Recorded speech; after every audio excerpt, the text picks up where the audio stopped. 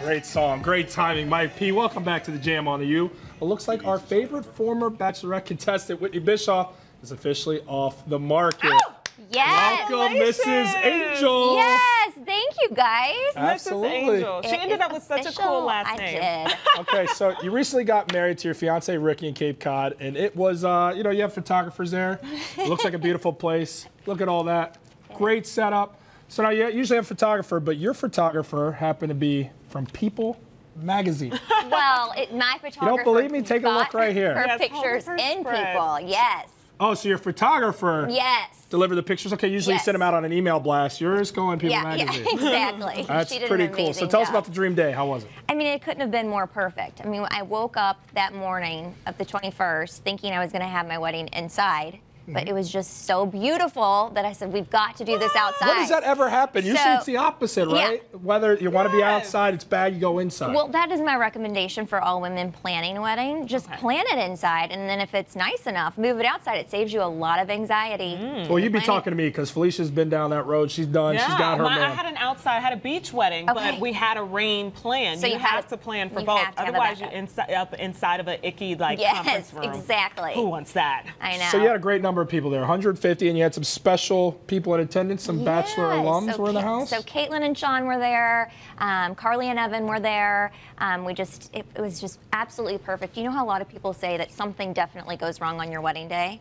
Yeah. Speaking to Felicia, I don't yeah, I don't know that. I'm like, Nothing what went happened? wrong. Nothing good, went wrong. good. Mine was perfect too. Yeah. You know- that's so good. I couldn't have changed We got good juju. We're giving Yeah. good juju to all the Two all the beautiful engaged married folks. women here. That's what every guy loves to be around. All right, so here's my one thing that I absolutely loved from the whole setup was no cell phones. Yeah, it was an unplugged ceremony. So Oh, we made it. it. um, Now, was this people's decision, your decision? How this did that was work? this was my decision love and my it. wedding planner's decision. I love it. So I just I wanted people to be in the moment. I wanted people to not be you know looking through their phone and you know.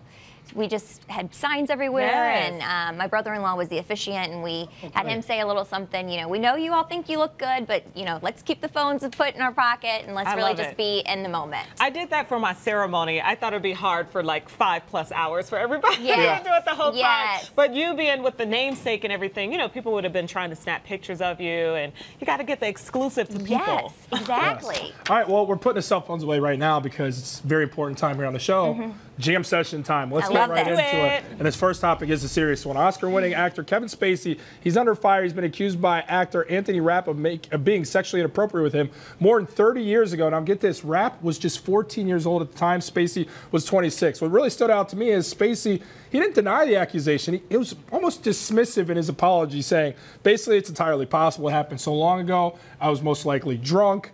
And he said, I'd like to, I'd like to use this time to apologize. But he also came out. He said, I- you know, I've loved and had romantic encounters with men throughout my life. I choose now to live as a gay man. Look, if I'm a member of the gay community, I've got to be sitting there saying, no, no, no, no, no, no. Not now do you choose Right, to come out. right. Don't do it now that you're under No. fire, right? Right. And why? I mean, I just I understand with all of the other allegations that are coming out in Hollywood, but I'm wondering why this didn't come out so long ago.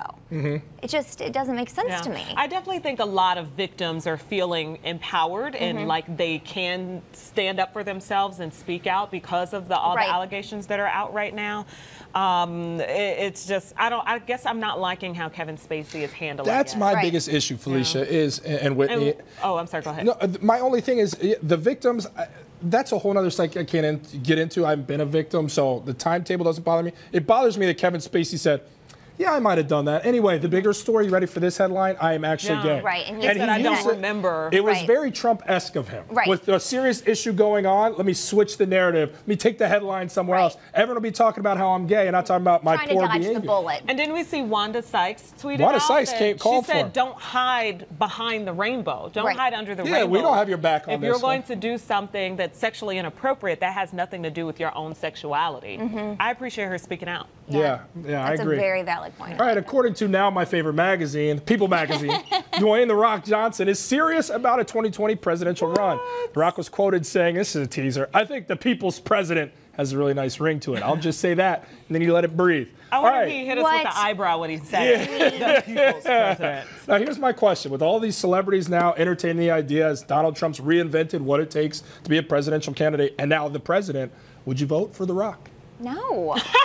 I mean, when when did becoming the president become like some just It's a new popularity tagline? contest now. I feel like it truly is a These are popularity not. This is not Ronald Reagan here. You So know. you could put it under your social media profile, president. no, exactly. And you make mention of Ronald Reagan because he was a former actor. Right, right. But I mean, he actually, you know, did a great job.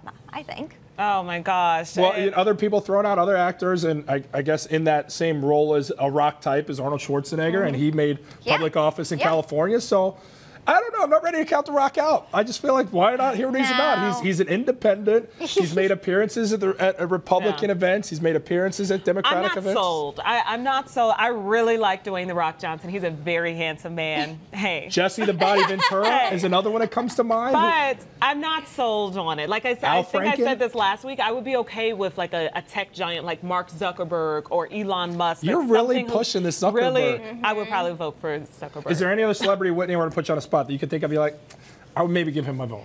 Oh gosh, no, no, I really can't. Oprah? Yeah. Who says no to Oprah? You can't say tough- no to Oprah. Put this woman in people, and she's not endorsing anybody. anymore. Unbelievable. like uh, Whitney Angel. Why not? Yeah. I don't know. I think it's just tough. That's a tough role. Uh, it That is. is. a tough role. Yeah. So I don't think it should just be handed out to anyone. I don't I want it to just be celebrities No. saying po- it's just then it was always a popularity contest, but then it's really a popularity. All right, Whitney Angel, who'd you vote for? No, I'm just kidding. No, All right, what do we got no. coming up? I'm